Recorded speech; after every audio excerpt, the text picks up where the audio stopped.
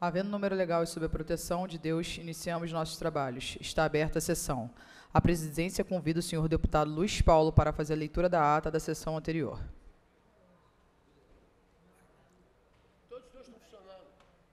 Então, Senhora deputada, presidente do expediente inicial, deputada Índia Armelau. A ata reflete com exatidão o ocorrido na centésima sétima sessão ordinária, que, iniciada às 14 horas, foi encerrada às 16 horas e 56 minutos. lida e aprovada a ata, passa a ser o expediente inicial. A presidência designa nosso primeiro orador inscrito, deputado Luiz Paulo. Tá.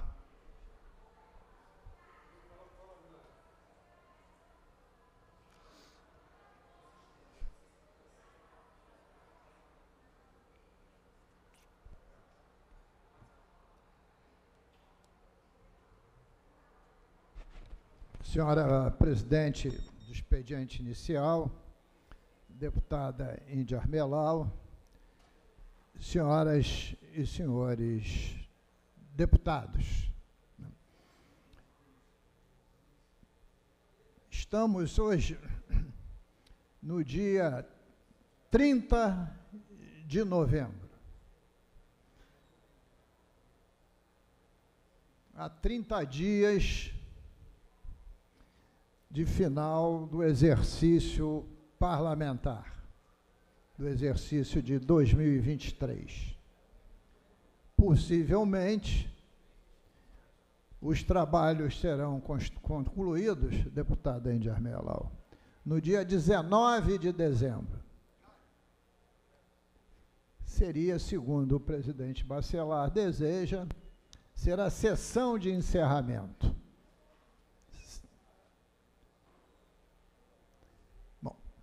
Então também é hora, senhora presidente, dos 70 parlamentares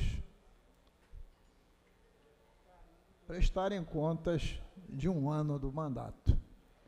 Quer seja dentro do polo do próprio parlamento, quer seja de forma digital pela internet, como sei que é a prática de Vossa Excelência. Como eu costumo usar os dois sistemas, o presencial e o sistema digital, vamos começar aqui pelo presencial. Dediquei todos esses meses de 2023 e o nosso mandato começou em 2 de fevereiro de 2023, primeiro mandato de Vossa Excelência, e o meu sexto mandato, mas me dediquei profundamente à questão de tentar viabilizar a melhoria das receitas do nosso Estado, principalmente as receitas tributárias. Porque já em fevereiro eu previa que nós teríamos anos, não é só 23, anos muito difíceis pela frente. Porque função das leis complementares 192 e 194 de 1 de julho de 22, leis complementares federais, o Estado do Rio de Janeiro perdeu no segundo semestre de 22 4,7 bilhões de reais. E a previsão daí para frente era perder anualmente na ordem de 8,5 bilhões de reais, função da redução das alíquotas de ICMS, de energia, telecomunicações e combustíveis, da ordem de 30% para 18%.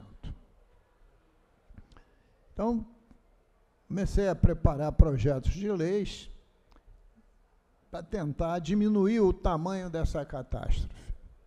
Além do mais, também sabia que 2023 seria o ano que tramitaria no Congresso Nacional a reforma tributária, famosa PEC 45 de 19, que já passou na Câmara, passou no Senado, mas com o Senado modificou muitos artigos daquilo que a Câmara aprovou, retornou para a Câmara.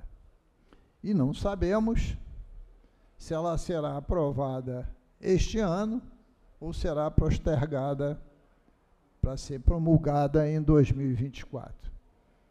Tenho eu a desconfiança, mas não é uma certeza, que ainda será esse ano. Mas o tempo dirá faltar pouco, temos poucos, poucos dias pela frente, porque também a Câmara e o Senado Federal não irão trabalhar até 31 de dezembro. Encerrarão as suas atividades antes do Natal. Dito isso, senhora presidente, esse trabalho foi muito, muito forte, muito contínuo e até muito pouco valorizado. Eis, eis que ao longo desses últimos 30 dias o governo mandou uma mensagem para essa casa para que nós pudéssemos apreciar um projeto de lei de remanejamento de recursos não gastos dos mais diversos fundos. Esse projeto, o presidente Bacelar fez uma reunião no Colégio de Líderes e debateu com as lideranças de todos os partidos o como proceder. E apesar de eu ser um parlamentar que não integra a base do governo, um parlamentar de oposição, eu verifiquei que a situação já em 2023 era muito difícil. Fecharíamos este ano com déficit, isto é, com, esse, com uma falta de receita na ordem de 3 bilhões e meio de reais. Em função disso, fizemos no Colégio de Líderes alguns acordos, como deve ser no Colégio de Líderes, no sentido de retirar do remanejamento cerca de nove fundos, sendo um deles o Fundo Estadual de Habitação de Interesse Social. E o projeto de remanejamento dos fundos, dos saldos dos fundos, foi aprovado. Imaginava eu que isso garantiria fechar o ano de 2023 com a receita e despesa empatando. E possivelmente isso ocorrerá. Esses remanejamentos de fundos serão num montante superior a 3 bilhões e meio. Então, fecharemos 2023 sem atrasar folha, sem comprometer o caixa, etc, etc. O que é, evidentemente, algo positivo, porque se não fizéssemos um remanejamento nos fundos, iríamos acrescentar o déficit de 2024 que é de 8 bilhões e meio, mais 3 bilhões e meio. O que levaria esse déficit para 12 bilhões de reais. Deputado André Correia, em um evento na manhã de hoje, que durou de 9 às 13 horas, organizada pela Casa, especialmente pela Procuradoria, debateu através de quatro palestrantes, a imunidade parlamentar. Tema que Vossa Excelência gostaria de ter ouvido, deputada Indy Armelau, porque o último núcleo foi sobre a imunidade parlamentar, usando a linguagem popular, na internet. E exatamente as decisões que retiram blogs do ar, né? etc, etc. mas foi uma discussão muito apropriada para um tema absolutamente relevante. Mas lá o deputado André Correia falava, e eu concordava plenamente com ele, dizer que esse orçamento de 2024 nós teremos uma receita que não será superestimada. Será uma projeção de receita real. Isto quer dizer que aquela estimativa de déficit de 8 bilhões e meio será mantida na aprovação do orçamento. Bom, mas alguma, alguns sinais positivos já começaram a ocorrer. Ontem, na Comissão de Constituição e Justiça, foi aprovada por unanimidade dos sete votos a constitucionalidade de um projeto de lei que fui autor para que a alíquota modal do ICMS no estado do Rio de Janeiro fosse 19,5% e não mais 18%.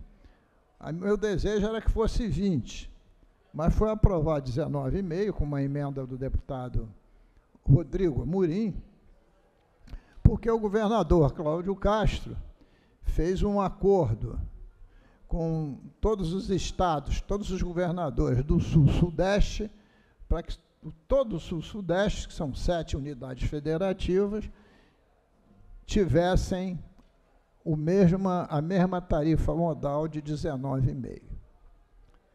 Este projeto, segundo se expressou aqui o deputado presidente Bacelar, virá à pauta para ser votado quarta-feira próxima. E o impacto positivo na receita para 2024 é de aproximadamente 1, vou arredondar, 1,5 bilhões de reais. E porque nós já perdemos três meses, né?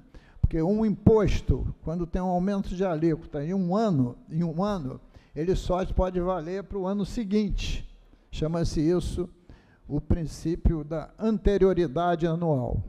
Mas tem um outro princípio que tem que ser cumprido. Quando é aprovado no final do ano, principalmente, tem que valer o sistema nonagesimal. Então, ele só entra em vigor em 1 de abril de 2024. E aí, 25, 26, trazendo a valor presente, poderemos ter um acréscimo, ainda sem descontar no, no ICMS bruto, de 1,9 bilhões de reais.